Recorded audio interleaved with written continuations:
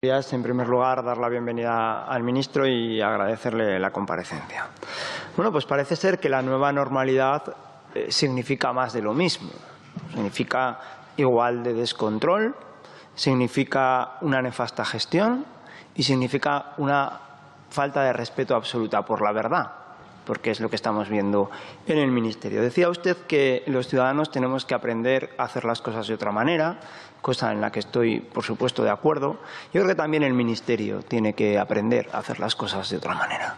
En primer lugar, tiene que dar la información que sea cierta y veraz, tiene que aprender a que tiene responsabilidad en todo lo que está pasando y tiene que trasladar unos, eh, discursos y unos mensajes claros que no generen más alarma de la que evita, que es lo que estamos viendo muchas veces con portavoces del Ministerio de Sanidad. Yo creo que el Ministerio ha pasado de ser el mando único a ser un conviado de piedra, porque evidentemente ahora tenemos unos datos más que preocupantes para nuestro país.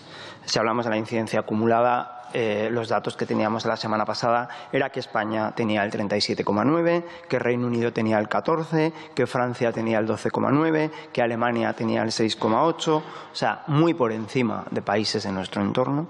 Entonces, oiga, lo de ser los peores siempre, ¿no cree que será que algo estamos haciendo mal? Claro, lo de ser los peores, el peor país del mundo en gestionar la pandemia la primera vez, pues ya resulta muy llamativo y ya es una eh, muestra clara de incompetencia. Pero claro, serlo otra vez en lo que puede ser una segunda oleada, o no sé si es que no hemos pasado la primera, es que ya es una insistencia en la incompetencia. Y eso pues debería exigir alguna explicación por parte del Ministerio. Luego, por otro lado, yo creo que nadie se explica cuál es el papel del Ministerio en este momento. Porque si no toma ninguna decisión, porque las decisiones las toman las comunidades autónomas, si no puede dar cifras reales porque las cifras que reporta son las que dan las comunidades autónomas que quieren darlas, porque claro, luego tenemos comunidades como Cataluña que le dan unas cifras al Ministerio y luego publica otras completamente distintas. Y si además no tiene ninguna competencia para rastrear casos, oiga, ¿para qué necesitamos un Ministerio de Sanidad? ¿Y si nos lo ahorramos? Porque evidentemente en la crisis en la que vamos a entrar no estamos para gastos superfluos. Entonces, o ustedes tienen competencia y asumen su responsabilidad, o dígame usted qué hacemos gastando el dinero al que cuesta el Ministerio de Sanidad. En segundo lugar, hablaba de que la gestión, evidentemente, ha sido desastrosa, pero es que hay una cosa todavía que es peor que que se haya una gestión desastrosa, que es la frivolidad yo creo que al señor Simón hay que cesarlo de manera inmediata.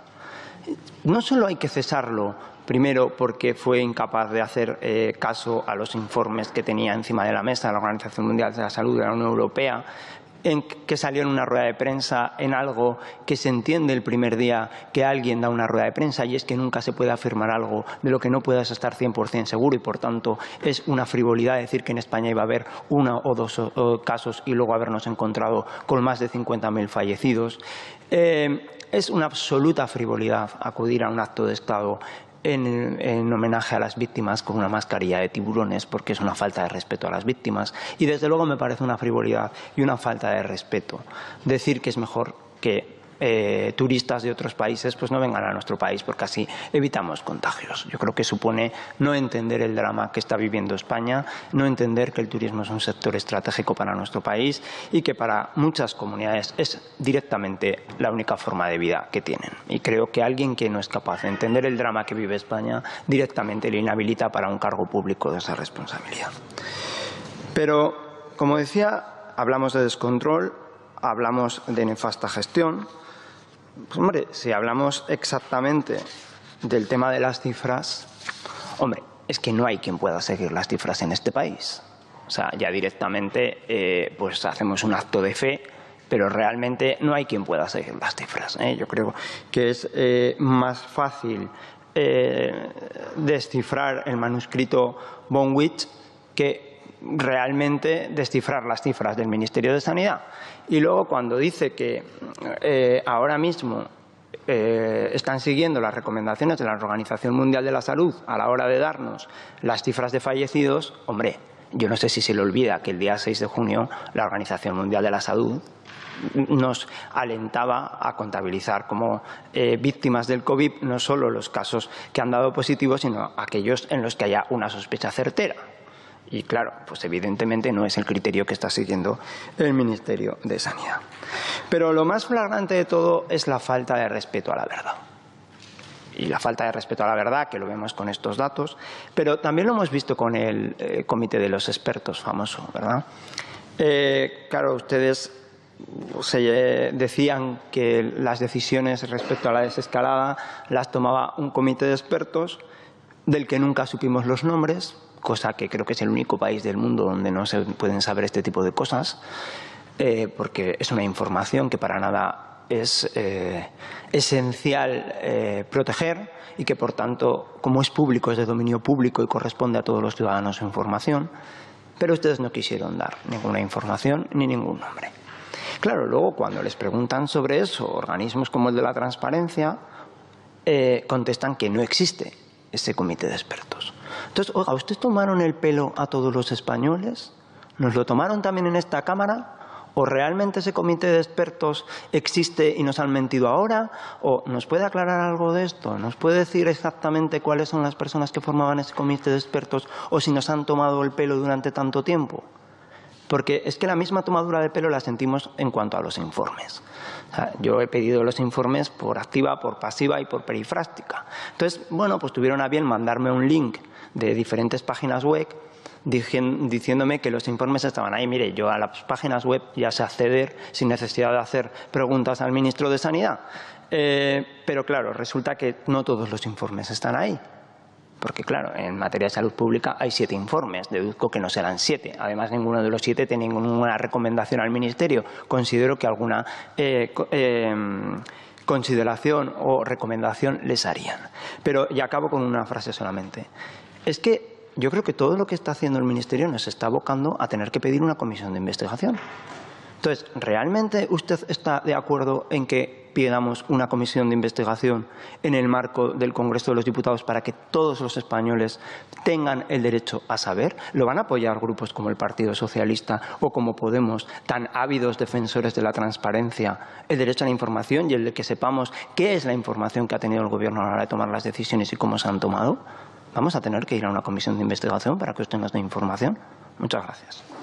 Eh, señora Prieto, yo la primera vez que, la próxima vez que vaya a usar la ironía lo advertiré antes, para que se entienda completamente lo que voy a decir, porque evidentemente no es que abogue porque desaparezca el Ministerio de Sanidad.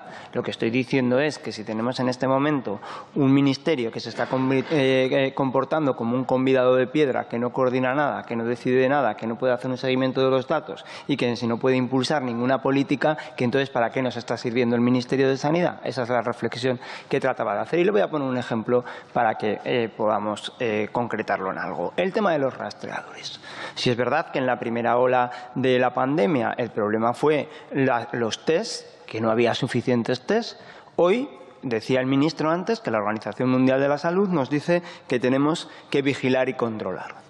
Y esa labor de vigilancia y de control corresponde a los rastreadores. ¿Qué pasa? ¿Tenemos los mismos rastreadores en función de los habitantes en todas las comunidades de España? La respuesta es no.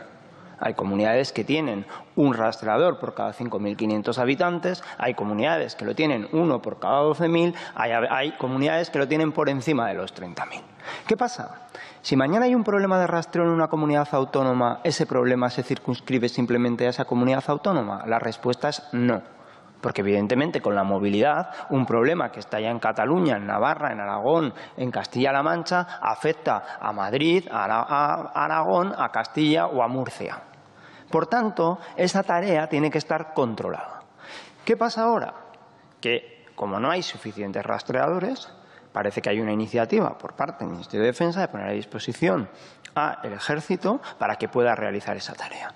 Y yo le pregunto, señor ministro, en primer lugar, ¿cuánto tiempo va a tardar hasta que el personal del Ejército esté formado para poder realizar esa tarea? Y en segundo lugar, ¿nos vamos a encontrar con que alguna comunidad autónoma, por sesgo ideológico y por animadversión al ejército español, porque tiene animadversión a cualquier cosa que huela a España, va a impedir que se pueda el ejército encargar de esa tarea y que, por tanto, afecte esa decisión a la salud pública. En ese caso, ¿cuál va a ser el papel del Ministerio de Sanidad y qué puede hacer el Ministerio de Sanidad? En segundo lugar, dice, no, es que le, no sé si nos enteran de que esto es una pandemia que afecta a todo el mundo. Evidentemente que es así.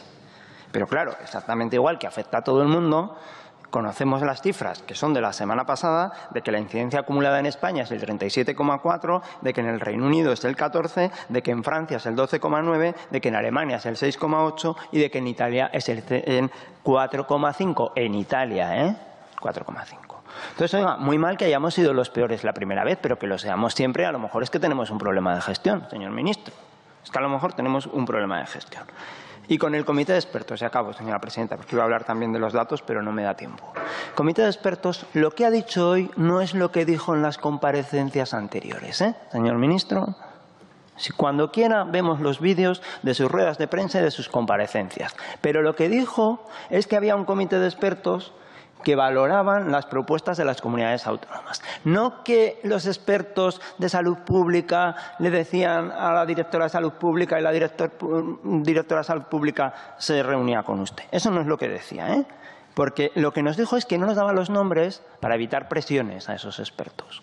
Entonces, yo lo que le pregunto es quiénes eran esos expertos, si existía, si no existía, por qué no dijo la verdad en esta Cámara y si le parece normal que alguien con el cargo de ministro de Sanidad no diga la verdad en sede parlamentaria y falte al respeto así al conjunto de los ciudadanos españoles. Tiene que terminar, señor portavoz.